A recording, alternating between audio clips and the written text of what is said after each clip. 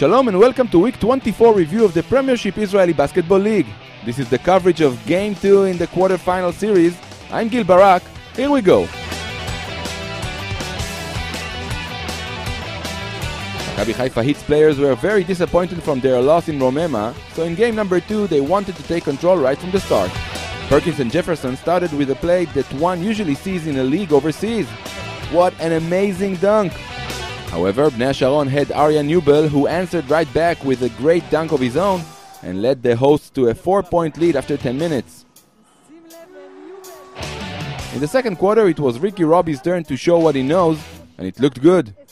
Haifa lost concentration and Bnei Sharon kept its 4-point lead at the break, 36 to 32. You guys are probably familiar with the phrase that the little things make the difference. So here are two examples for that. Jefferson got the bucket and went to the line. He missed the shot but grabbed his own rebound and got 4 points out of the play. Right afterwards, Sales went to the line.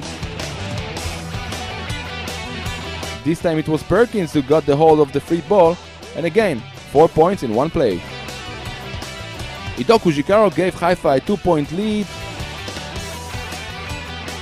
and the boss Jeff Rosen started to smell a victory. Sean James went to the line and tied the game at 71. Then Perkins did the same on the other end of the floor and Haifa was up by two again. Three and a half seconds to the end, it was Erez Katz's turn. He missed the first, missed the second deliberately. Perkins took the rebound and Haifa won the game 75 to 71. The series is tied now with one victory apiece. Doron, after three times you lost to Bnei Sharon, how sweet is this victory now? Um, you know, more importantly than the three losses is, is sweet just to tie this series up. You know, being going down 2-0, it's going to be a tough climb. You know, 1-1, we're back at home, so hopefully we can take care of business. Personally, it looks like you're a bit. Uh, it's a bit difficult to you to balance between uh, the need to get your team involved and the, the need to score your personal points. Exactly. Um, th- this game, you know, I tried to focus, get my team involved, and try to, you know, pace myself. Coaches would take me out. I was frustrated because they took me out, but, you know, it worked down the stretch because I had a lot of energy to finish the game out.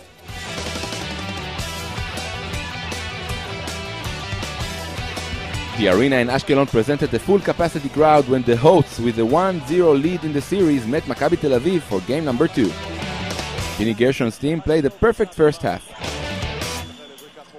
Rashawn Turner, who was great at the first game, saw a double and triple team whenever he touched the ball and had a weak game throughout. In offense, everything went Maccabi's way and the gap rose as the game progressed. Pay attention to this next play. The ball moves from one player to another. Everyone gives up a shot to find a teammate with a better look at the basket, and at the end comes the three-pointer.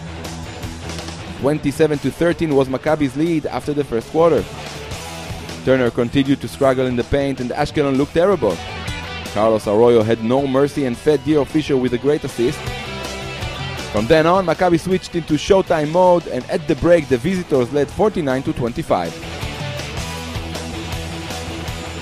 Fortunately for Ashkelon, Maccabi took its foot from the gas pedal in the second half, which was a complete garbage time.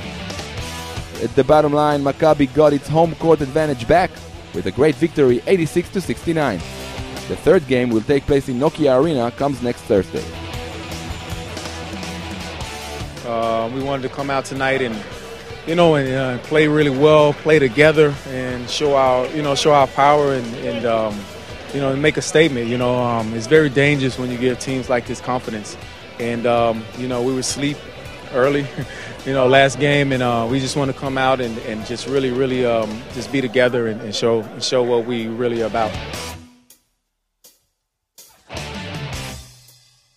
Oded Katash's team wanted to take advantage on its road win against Holon and make it a 2-0 series as it hosted the second game at Gan Ner. In the first few minutes we saw a battle of pushing and shoving under both baskets with a high level of aggressiveness and energy, the way a playoff game should be played. Gal Mekel, who won the Player of the Month award, was the only one who found the net, and a three-pointer by Dagan Yivzori made it a 17-13 lead in favor of Gilboa Galil after 10 minutes. In the second quarter, we saw some offense on Holon's part. An 8-0 run put it back on top. Ron Washington was focused beyond the arc, and the quarter scored was 25-9 to Holon, who was up 38-26 at the break. Brian Tolbert had 10 out of Holon's 12 points in the third quarter, and the champs were still ahead.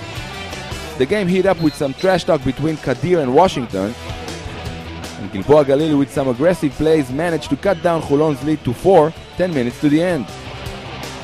Washington and Kadir kept on fighting in the last quarter. It wasn't a great basketball night, but there were no complaints regarding the motivation and playoff atmosphere, which was in the air. 2 minutes and 50 seconds to the end, a three-pointer by Guni Israeli tied the score at 56. The game was close until the last seconds, and who else but Brian Tolbert with an amazing three-pointer gave Holon a three-point lead 30 seconds to the end.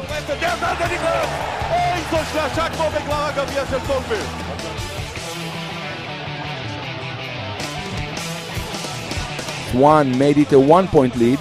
Gilboa Galil sent Yehu Orland to the line. His second shot went out, and the visitors had the last chance to win or send the game to overtime.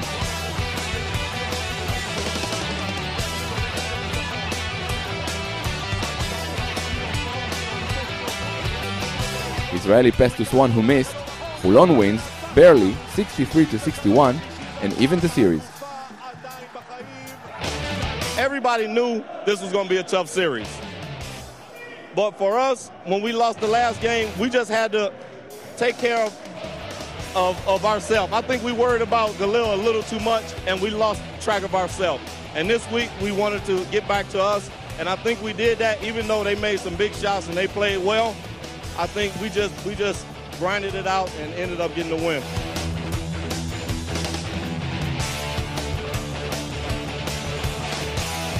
Hapoel Jerusalem went up north to visit Ironi Nahariya in the white jerseys. By the end of the first quarter, after 23 points for each team, Jerusalem took over the game. Omar Sneed was unstoppable.